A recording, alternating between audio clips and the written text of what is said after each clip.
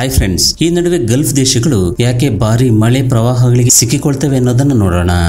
ಯಾವ ದೇಶದ ಡೆವಲಪ್ಮೆಂಟ್ ಅನ್ನು ನೋಡಿ ಇಡೀ ಜಗತ್ತು ಆಶ್ಚರ್ಯ ಪಡ್ತಿತ್ತು ಅಂತಹ ದೇಶಗಳು ಈಗ ಪ್ರವಾಹಗಳಲ್ಲಿ ಸಿಕ್ಕಿಕೊಳ್ತಿವೆ. ಹೆಂಡದೆ ದುಬೈ ಬುರ್ಜ್ ಖಲೀಫಾದಿಂದ ಶುರುವಾಗಿ ಸಮೀಪದಲ್ಲೇ ಕೃತಕವಾಗಿ ನಿರ್ಮಾಣ ಮಾಡಿದಂತಹ ಪಾಮ್ ಜುಮೇರಾದಂತಹ ಅದ್ಭುತವಾದಂತಹ ಕಟ್ಟಡಗಳು ಇಲ್ಲಿ ನಿರ್ಮಾಣವಾಗಿದ್ದವು. ಅಂತಹ ಪ್ಲೇಸ್ನ ರೂಪುರೇಷೆಗಳು ರಾತ್ರಿಗೆ ರಾತ್ರಿ ಚೇಂಜ್ ಆಗಿ ಹೋದವು. ನೀವು ಇಲ್ಲಿವರೆಗೂ ಯುರೋಪ್ ದೇಶಗಳಲ್ಲಿ ಪ್ರವಾಹಗಳು ಹರಿಯೋದನ್ನ ನೋಡಿರ್ತೀರಿ. ಆದರೆ ಈಗ ಅದೇ ಪರಿಸ್ಥಿತಿ ಮಿಡಲ್ ಈಸ್ಟ್ ದೇಶಗಳಿಗೂ ಕೂಡ ಬಂದಿದೆ. ಏಪ್ರಿಲ್ ಹದಿನೈದು ಎರಡ್ ಸಾವಿರದ ಇಪ್ಪತ್ನಾಲ್ಕನೇ ತಾರೀಕಿನಂದು ಒಂದಲ್ಲ ಎರಡಲ್ಲ ಮಿಡಲ್ ಈಸ್ಟ್ನ ಸೋ ಕಾಲ್ಡ್ ಡೆವಲಪ್ಮೆಂಟ್ ದೇಶಗಳು for example UAE Saudi Arabia Oman Bahrain ಇವೆಲ್ಲ ದೇಶಗಳಲ್ಲಿ ಸಿಕ್ಕಾಪಟ್ಟೆ ಮಳೆ ಸುರಿಯಿತು. ಆದರೆ ಅದೆಷ್ಟು ಮಹಾನ್ ತೂಫಾನಾಗಿ ಬದಲಾಗಿ ಹೋಯಿತು ಅಂದ್ರೆ ಅದು ಆ ದೇಶಗಳ ಉಳಿದ ಪ್ರಾಂತ್ಯಗಳನ್ನ ಹೊರತುಪಡಿಸಿದ್ರೆ ಈ ಸಾರಿ ದುಬೈಗೂ ಕೂಡ ಈ ಮಹಾಮಳೆ ತಲೆನೋವು ತಂದಿತ್ತು. ಇನ್ನು ಈ ಮಹಾಮಳೆ ಎಷ್ಟು ಭಯಾನಕವಾಗಿ ದಾಳಿ ಮಾಡಿತು ಅಂದ್ರೆ ಅಲ್ಲಿದ್ದಂತ ಜನರು ನಾವಿರುವಂತಹ ಬೃಹತ್ ಬಿಲ್ಡಿಂಗ್ಗಳು ಬಹುಶಃ ನೆಲಸಮವಾಗಿ ಬಿಡ್ತವೆ ಅಂತ ಭಯಪಟ್ಟಿದ್ರಂತೆ. ಮೆಲ್ಲ ಮೆಲ್ಲಗೆ ಈ ಮಹಾಮಳೆ ತನ್ನ ವ್ಯಾಪ್ತಿಯನ್ನ ವಿಸ್ತರಿಸಿಕೊಳ್ತಾ ಹೋಯಿತು. ಜೊತೆಗೆ ಮಂಗಳವಾರದವರೆಗೂ ಈ ವಿಪತ್ತು ನಿಲ್ಲಲಿಲ್ಲ. ಅಂಡ್ ಈ ಕಾರಣದಿಂದಾಗಿನೇ ಮಿಡಲ್ ಈಸ್ಟ್ನಲ್ಲಿ ಅಭಿವೃದ್ಧಿ ಹೊಂದಿದಂತಹ ದೇಶಗಳು, ಸಿಟಿಗಳು ಪ್ರವಾಹದ ಪಾಲಾಗಿ ಹೋದವು. ಪೆಟ್ರೋಲಿಯಂ ಕಚ್ಚಾ ತೈಲದ ಉತ್ಪಾದನೆಯ ಕಾರಣದಿಂದಾಗಿ ಕಾಂಕ್ರೀಟ್ಗಳಿಂದ ತಯಾರಾದಂತಹ ಈ ಮಾಡರ್ನ್ ದೇಶಗಳ ರಸ್ತೆಗಳು ಬೀದಿಗಳಲ್ಲಿ ಕೇವಲ ನೀರು ಹರಿಯೋದಕ್ಕೆ ಶುರುವಾಯಿತು. ಹೇಳ್ಬೇಕಂದ್ರೆ ಅವತ್ತು ಕ್ರಿಯೇಟ್ ಆದಂತ ಪ್ರವಾಹ ಯಾವ ನದಿ ಪ್ರವಾಹಕ್ಕೂ ಕೂಡ ಕಡಿಮೆ ಇರಲಿಲ್ಲ. ಹಾಗೇನೆ ರೋಡುಗಳಲ್ಲಿ ರಾಜ ಮರ್ಯಾದೆಯಿಂದ ಓಡಾಡ್ತಾ ಇದ್ದಂತಹ ಕೋಟ್ಯಾಂತರ ರೂಪಾಯಿ ಬೆಲೆ ಬಾಳುವ ಕಾರುಗಳು ಈ ಪ್ರವಾಹದಲ್ಲಿ ಕೊಚ್ಚಿಕೊಂಡು ಹೋದವು. ಇನ್ನು ದುಬೈನಲ್ಲಿ ಕೇವಲ ಕೆಲವೇ ಗಂಟೆಗಳಲ್ಲಿ ಎರಡು ವರ್ಷಗಳಲ್ಲಿ ಬೀಳ್ತಾ ಇದ್ದಂತಹ ಮಳೆ ಒಂದೇ ಸಾರಿ ಸುರಿಯಿತು. ಸಾಮಾನ್ಯವಾಗಿ ಇಲ್ಲಿ ಒಂದು ವರ್ಷದಲ್ಲಿ ತೊಂಬತ್ತೈದು ಮಿಲಿಮೀಟರ್ಗಳಷ್ಟು ಮಳೆ ದಾಖಲಾಗುತ್ತಂತೆ. ಅಂಥದ್ರಲ್ಲಿ ಕೇವಲ ಮಂಗಳವಾರ ಒಂದೇ ದಿನ ಮಾತ್ರ ನೂರ ನಲವತ್ತೆರಡು ಮಿಲಿಮೀಟರ್ಗಳಷ್ಟು ಮಳೆಯ ಪ್ರಮಾಣ ದಾಖಲಾಯಿತು.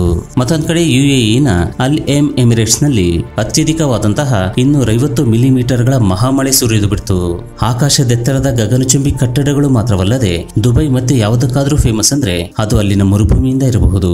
ಮುಖ್ಯವಾಗಿ ಜನರು ಇಲ್ಲಿಗೆ ಅಲ್ಲಿನ ಮರುಭೂಮಿಯ ಬಿಸಿಯನ್ನ ಫೀಲ್ ಮಾಡೋದಕ್ಕೋಸ್ಕರ ಬರ್ತಾ ಇರ್ತಾರೆ.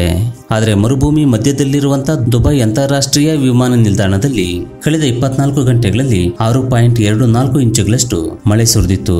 ಇನ್ನು ಹವಾಮಾನವನ್ನ ತಿಳಿಸುವಂತ website weather man dot com ಕೂಡ ಎರಡು ವರ್ಷಗಳಲ್ಲಿ ಬೀಳ್ತಾ ಇದ್ದಂತ ಮಳೆ ಕೇವಲ ಒಂದೇ ದಿನ ಸುರಿದು ಬಿಡ್ತು ಅಂತ ವರದಿಯನ್ನ ಪ್ರಸಾರ ಮಾಡಿತ್ತು. ಅದು ಅಲ್ಲದೆ ಈ ದೇಶ ಆಧುನೀಕರಣದ ಮತ್ತು ತಂತ್ರಜ್ಞಾನದ ಹೆಸರಲ್ಲಿ ಎಲ್ಲ ಲಿಮಿಟ್ಗಳನ್ನು ಕ್ರಾಸ್ ಮಾಡಿರಬಹುದು ಅಂತಲೂ ವಿಶ್ಲೇಷಣೆಗಳನ್ನ ಮಾಡಲಾಗ್ತಾ ಇದೆ. ಆದ್ರೆ ಇವತ್ತಿಗೂ ಕೂಡ ಈ ದೇಶದಲ್ಲಿ ಉಳಿದು ಹೋಗಿರುವಂತಹ ಅತಿ ದೊಡ್ಡ ಸಮಸ್ಯೆ ಏನು ಅಂದ್ರೆ ಅದು ಅಲ್ಲಿನ ಡ್ರೈನೇಜ್ ಸಿಸ್ಟಮ್. ಅಂಡ್ ಇಲ್ಲಿವರೆಗೂ ಆ ಬಗ್ಗೆ ಯಾವುದೇ ಪರಿಷ್ಕಾರವನ್ನು ಕೂಡ ಹುಡುಕಲಾಗಿಲ್ಲ. ಇಂಗ್ಲಿಷ್ ನ್ಯೂಸ್ ಏಜೆನ್ಸಿ ರಾಯ್ಟರ್ಸ್ ಕೂಡ ಈ ವಿಷಯವನ್ನೇ ಕ್ಲೈಮ್ ಮಾಡ್ತಾ ಇದೆ. ಈಗ ನಿಮ್ಮಲ್ಲೂ ಕೂಡ ತುಂಬಾ ಜನ ಅನ್ಕೊಳ್ತಾ ಇರಬಹುದು ಇಪ್ಪತ್ತೊಂದನೇ ಶತಮಾನದ ಮೋಸ್ಟ್ ಪವರ್ಫುಲ್ ಡೆವಲಪ್ಡ್ ಕಂಟ್ರಿ ಆದಂತ ದುಬೈಗೆ ಈ ಪರಿಸ್ಥಿತಿ ಬರೋದಕ್ಕೆ ಕಾರಣವೇನು ಅಂತ? ಆದ್ರೆ ಕೆಲವಾರು ಮಂದಿ ವಾರ್ತಾ ವಿಶ್ಲೇಷಕರು ಹೇಳ್ತಾ ಇದ್ದಾರೆ, ಇದು ಅರೇಬಿಯಾ ದ್ವೀಪಕಲ್ಪದಿಂದ ಉದ್ಭವಿಸಿದಂತಹ ತುಫಾನ್ ಅಂತ. ಆದ್ರೆ ಇದು ಒಮನ್ ದೇಶದ ಕಡೆ ಹೋಗ್ತಾ ಇರುತ್ತೆ, ಜೊತೆಗೆ ಇದರ ಡೆನ್ಸಿಟಿ ಹೆಚ್ಚಾಗ್ತಾ ಹೆಚ್ಚಾಗ್ತಾ ಹೋದಂತೆ ಈ ತೂಫಾನ್ ಮಿಡಲ್ ಈಸ್ಟ್ ದೇಶಗಳಲ್ಲಿ ಮಹಾಮಳೆಗೆ ಮತ್ತು ಚಂಡಮಾರುತಗಳಿಗೆ ಕಾರಣವಾಗುತ್ತೆ ಅಂತ ಹೇಳಿದ್ದಾರೆ. ಇನ್ನು ಅದರ ಪ್ರಭಾವ ಒಮನ್ ದೇಶದಲ್ಲಿ ಹೆಚ್ಚಾಗಿ ಕಾಣಿಸಿಕೊಂಡ್ರು ಕೂಡ, ಅದು ದುಬೈ ದೇಶವನ್ನು ಕೂಡ ಪ್ರವಾಹಕ್ಕೆ ತುತ್ತಾಗುವಂತೆ ಮಾಡ್ತು. ಆದ್ರೆ ಇಲ್ಲಿ ಕಳೆದ ಮೂರು ದಿನಗಳಿಂದ ಈ ಗಲ್ಫ್ ದೇಶಗಳು ನಡೆಸಿದಂತ ವಿಧ್ವಂಸದ ಹಿಂದೆ, ಪ್ರಕೃತಿಗಿಂತಲೂ ಆ ದೇಶಗಳು ನಡೆಸಿದಂತ ವಿಧ್ವಂಸಗಳೇ ಕಾರಣ ಅಂತ ಹೇಳ್ತಾ ಇದ್ದಾರೆ. ಈ ಗಲ್ಫ್ ದೇಶಗಳು ಅಲ್ಲಿನ ಪೆಟ್ರೋಲಿಯಂ, ತೈಲ ಮತ್ತು ದಾರಿಯೇ ಕಾಣದಂತ ಮರುಭೂಮಿಗಳಿಂದ ಫೇಮಸ್ ಆಗಿದ್ದೇವೆ ಅನ್ನೋದು ಎಲ್ರಿಗೂ ಕೂಡ ಗೊತ್ತು. ಆದರೆ ಇಲ್ಲಿನ ದೇಶಗಳು ಒಂದೊಂದಾಗಿ ಅಲ್ಲಿ ಕ್ರಿಯೇಟ್ ಆಗ್ತಾ ಇರುವಂತ ಉಷ್ಣತೆಯಿಂದ ತಪ್ಪಿಸಿಕೊಳ್ಳೋದಕ್ಕಾಗಿ ಕ್ಲೌಡ್ ಸೀಡಿಂಗ್ ಅನ್ನುವಂತ ಪದ್ಧತಿಯನ್ನು ಅನುಸರಿಸ್ತವೆ. ಇನ್ನು ಈ ಗಲ್ಫ್ ದೇಶಗಳಲ್ಲಿ ಈ ಮಹಾ ಮಳೆಗೆ ಕಾರಣ ಅವರು ನಡೆಸ್ತಾ ಇರುವಂತಹ ಕ್ಲೌಡ್ ಸೀಡಿಂಗ್ ಅಂತ ಅಭಿಪ್ರಾಯ ಪಡ್ತಾರೆ ಮಳೆ ಬಿತ್ತನೆ ಮಾಡುವ ಮೂಲಕ ಮಳೆಯನ್ನ ಪಡ್ಕೊಳ್ಳೋದಕ್ಕಾಗಿ ದುಬೈ ಗೌರ್ಮೆಂಟ್ ತನ್ನ ಪ್ರಣಾಳಿಕೆಯನ್ನ ಪ್ರಕಟ ಮಾಡ್ತು. ಆದ್ರೆ ಆ ನಂತರ ಏನೇನಾಯ್ತು? ಅದೆಲ್ಲಕ್ಕೂ ಕೂಡ ಗೌರ್ಮೆಂಟೇ ಕಾರಣ ಅಂತ ಅಸೋಸಿಯೇಟೆಡ್ ಪ್ರೆಸ್ ಟ್ರಸ್ಟ್ ತನ್ನ ಪ್ರಕಟಣೆಯಲ್ಲಿ ಈ ವಿಷಯವನ್ನ ಪ್ರಸ್ತಾಪಿಸಿದೆ. ಸೊ ಹಾಗಾದ್ರೆ ಕ್ಲೌಡ್ ಸೀಡಿಂಗ್ ಅಂದ್ರೆ ಏನು? ಮತ್ತದು ಪ್ರಕೃತಿಯ ಮೇಲೆ ಯಾವ ರೀತಿ ಪ್ರಭಾವ ಬೀರುತ್ತೆ ಅನ್ನೋದನ್ನ ನೋಡೋಣ. ಉದಾಹರಣೆಗೆ ಮನುಷ್ಯ ತನ್ನ ಬೆಳೆಯನ್ನ ಬೆಳೆಯೋದಕ್ಕೋಸ್ಕರ ಅಸಹಜವಾಗಿ ತಯಾರಾದಂತ ಕೃತಕ ಗೊಬ್ಬರಗಳನ್ನ ಯೂಸ್ ಮಾಡಿದಂತೆ, ಹಾಗೇನೆ ಬ್ರೀಡಿಂಗ್ಗೋಸ್ಕರ ಅಸಹಜವಾದಂತ ಮಷಿನ್ಗಳನ್ನ ಉಪಯೋಗಿಸಿದಂತೆ ಪ್ರತಿ ಕೆಲಸವನ್ನು ಕೂಡ ಸೃಷ್ಟಿಗೆ ವಿರುದ್ಧವಾಗಿ ಮಾಡೋದಕ್ಕೆ ಕಾರಣ ಮನುಷ್ಯ ತನ್ನನ್ನು ತಾನು ದೇವರು ಅಂತ ಅಂದ್ಕೊಳ್ಳೋದೇನಾ? ನಾವು ಚಿಕ್ಕವರಿದ್ದಾಗ ವಾಟರ್ ಸೈಕಲ್ ಬಗ್ಗೆ ಓದಿದೀವಲ್ವಾ? ಆದ್ರೆ ಈಗ ಅದು ಕೂಡ ತಾರುಮಾರಾಗಿ ಹೋಗಿದೆ.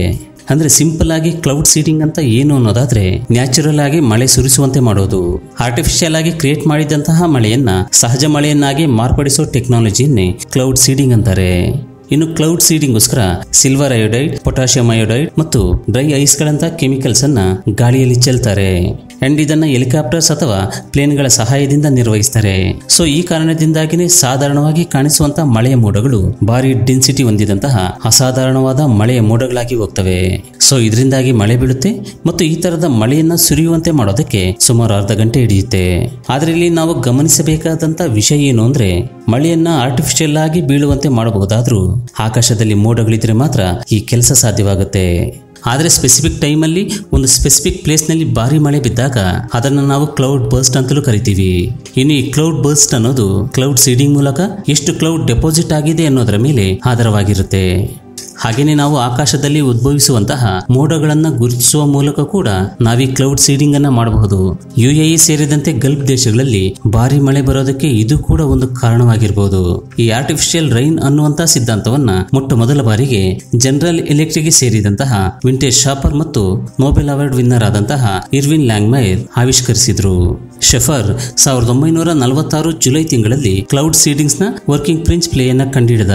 ಅಷ್ಟೇ ಅಲ್ಲದೆ, ನವೆಂಬರ್ ಹದಿಮೂರು ಸಾವಿರದ ಒಂಬೈನೂರ ನಲವತ್ತಾರರಲ್ಲಿ ಕ್ಲೌಡ್ ಸೀಡಿಂಗ್ ಉಪಯೋಗಿಸಿ ಮೊದಲ ನ್ಯೂಯಾರ್ಕ್ ಫ್ಲಡ್ ಮೂಲಕ ನ್ಯಾಚುರಲ್ ಆದಂತ ಮೋಡಗಳನ್ನ ಕ್ರಿಯೇಟ್ ಮಾಡೋದಕ್ಕೆ ಪ್ರಯತ್ನ ಮಾಡ್ದ. ಹಾಗೇನೆ ಫೆಬ್ರವರಿ ಸಾವಿರದ ಒಂಬೈನೂರ ನಲವತ್ತೇಳರಲ್ಲಿ ಆಸ್ಟ್ರೇಲಿಯಾದಲ್ಲಿನ ಜನರಲ್ ಎಲೆಕ್ಟ್ರಿಕ್ ಲ್ಯಾಬೊರೇಟರಿ ಮೂಲಕ ಈ ಕ್ಲೌಡ್ ಸೀಡಿಂಗ್ ಅನ್ನೋದು ಮೊದಲ ಸಾರಿ ಪ್ರದರ್ಶಿತವಾಯಿತು. ಹೆಂಡ್ ಇದನ್ನ ಕಷ್ಟದ ಸಮಯಗಳಲ್ಲಿ ಉಪಯೋಗಿಸತಕ್ಕಂತಾನೆ ಅಭಿವೃದ್ಧಿಪಡಿಸಿದ್ರು. ಆದ್ರೆ ಈಗಂತೂ ಜನ ಇದನ್ನ ತುಂಬಾ ವಿವೇಚನಾರಹಿತವಾಗಿ ಬಳಕೆ ಮಾಡ್ತಾ ಇದ್ದಾರೆ.